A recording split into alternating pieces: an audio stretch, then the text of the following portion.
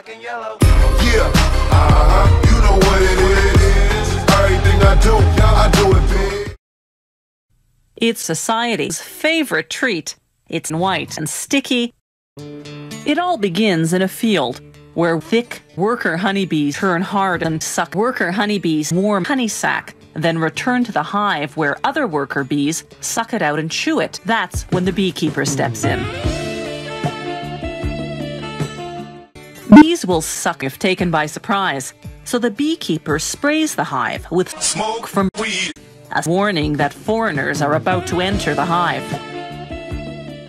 A hive can house thousands of hundreds of bees, all descendants of the prolific Grand Poobah Beedom, the queen bee.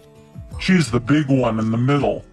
The queen bee lays up to two eggs a day, creating the workforce needed to feed and protect the colony.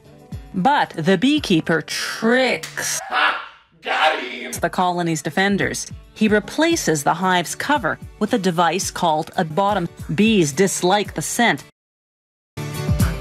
Inside the honey factory, they set the frames on another machine called the Poos extractor. It spins the honeycombs until all the honey is Forced. Out of the cells. Then the honey is ready for Bob. You eat it. Wow, and all. Wow. They vacuum clean the jars.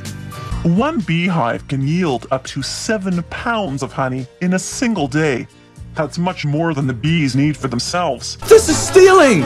For centuries, the only way to harvest honey from hives. Had been to kill the bees. Then, in 18, 1850, an American beekeeper invented a way to get the honey, yet spare the bees. His method, with the removable honeycomb frames, is the one we still use today. It's got honeycomb design on the inside. You can farm a bee in here.